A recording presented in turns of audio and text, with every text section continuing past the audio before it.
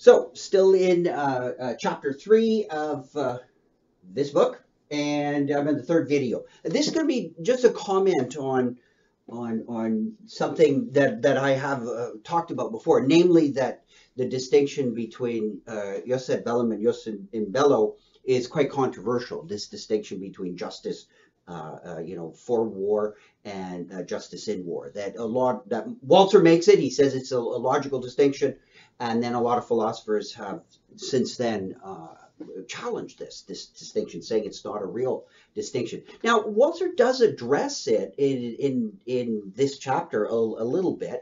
Um, and it is a foreshadowing of later arguments that are going to resurface. So, in some ways, there's nothing new under the sun. A lot of the later philosophers that challenged were picking up old challenges to Walzer that Walzer does uh, uh address to a certain uh, a degree. And I, what I want to do here is just kind of point out that it starts to bottom out um, in very fundamental intuitions. And let's see if I can make that a little bit clearer.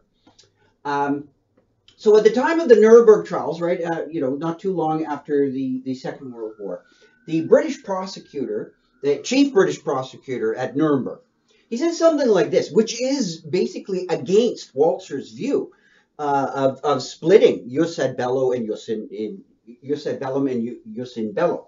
That is, the British prosecutor said something like this: Look, killing combatants is is uh, uh, just is is justifiable only if the war is legal. Um, now he put it in, not surprisingly, the prosecutor used uh, like legal language, but basically what he's saying is that you can justify the killing of combatants, um, but it's only if that it's necessarily th- that the war itself is, is a legal one. We can parse this out a little bit differently. What he's getting at here is that the bad side, right, if the war is illegal, the bad side has no justification for killing uh, those on the other side. Um, so uh, the war was illegal. It was perpetrated by uh, uh Nazi Germany.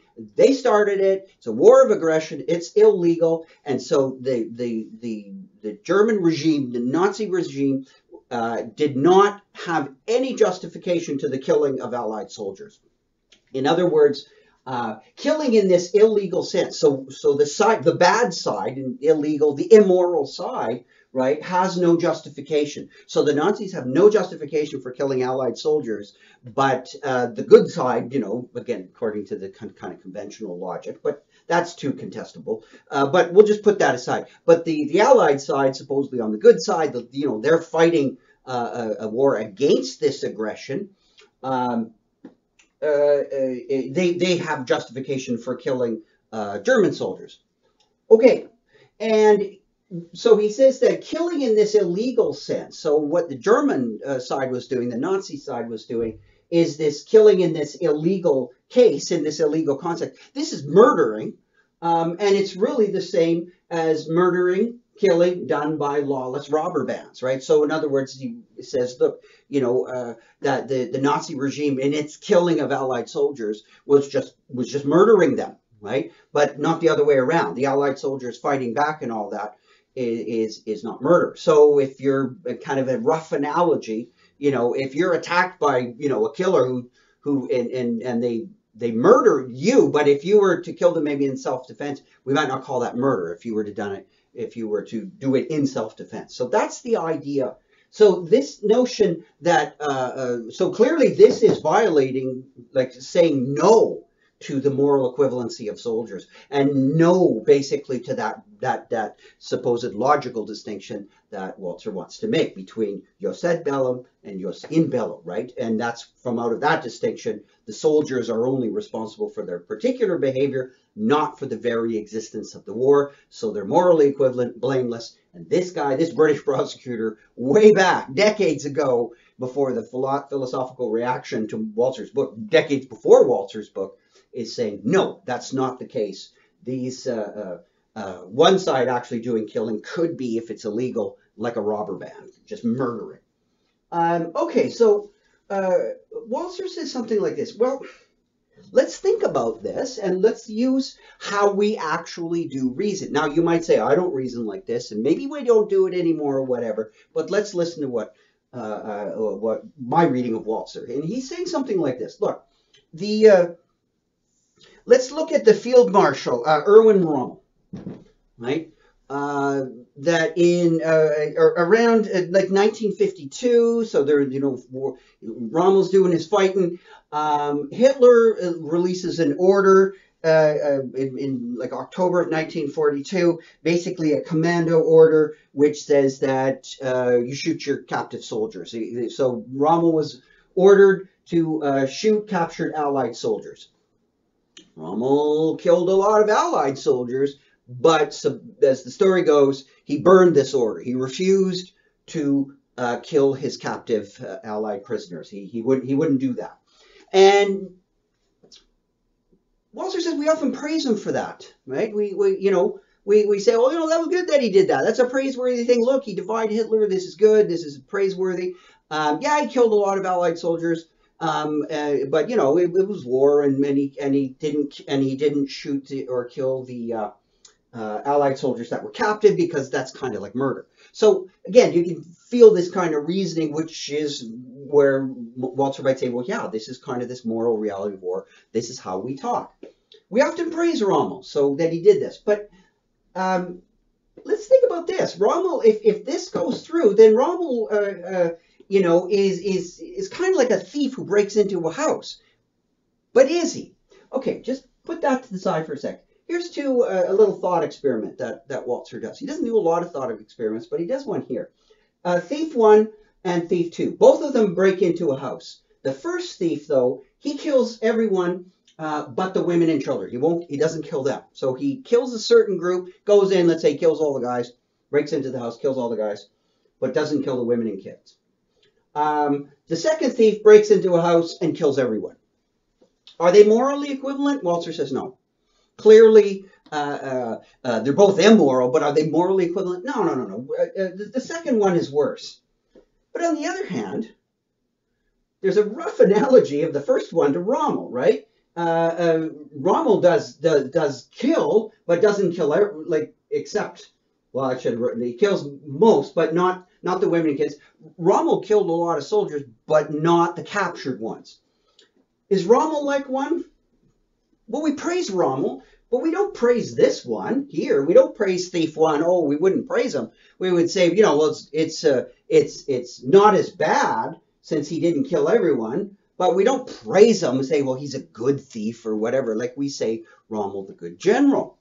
Um, and so, no, uh, why is that? Well, because of this. What's common with the two thieves other than the killing? It's the breaking in, right? They started it. So the, the thief one, just like thief two, he started the whole thing. He broke in, right? And so uh, he's responsible for the whole state uh, uh of, of the break-in, right? Just so both of them are, and then they do different things in the break-in.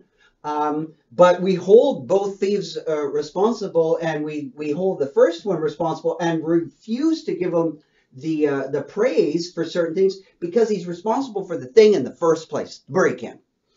Um, Rommel, again, going back to uh, Walzer's view, is Rommel's a soldier, right? Even he's a general, sure, but he didn't start the war.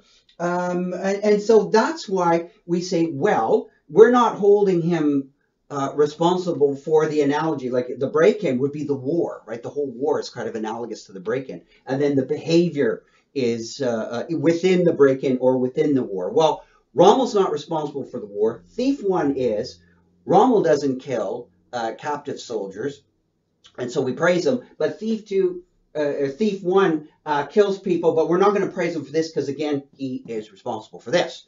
So in in that sense, this is explains this kind of distinction that we make explains why we would not want to say that Rommel is no different than this guy. And since we say he's no different than this guy, then we say, look, this whole thing is not really how we reason.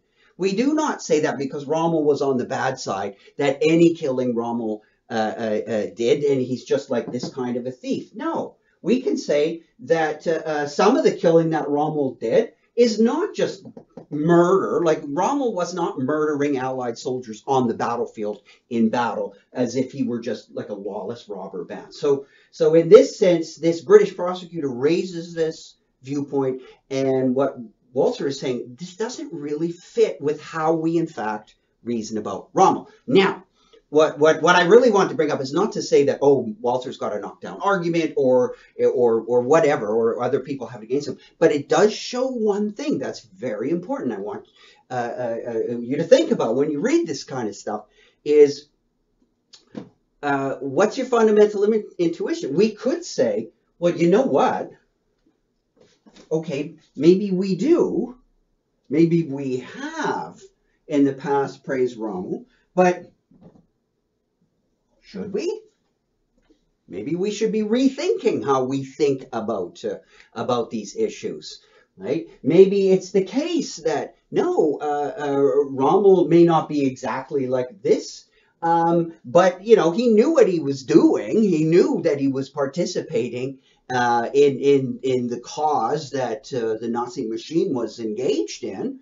So aren't you somehow responsible? Like, like, can can we just simply praise him? Like, wouldn't you say something like, if you know the war is unjust, shouldn't you refuse? Like, like if Rommel were to really be praised, wouldn't we say he's only going to get that praise as if he just opted out completely? He just wouldn't get involved, right? Maybe when when that war started, if uh, if he if if if Rommel at the time would have said, I want no part of this right? I don't like where this is going. I don't agree with this. I'm going to completely refuse to fight. And then we would have praised them, but not to get involved knowing that it's wrong or something and then say, well, I don't do uh, uh, certain things on the battlefield and therefore I should get praised. Um, no, he should have opted out of the whole thing in the first place. So this gets into a discussion, though, what's interesting, about what people know, how a state could function, whether or not uh, states could uh, function and their military systems and their defense systems would be capable of functioning if everybody were making that decision.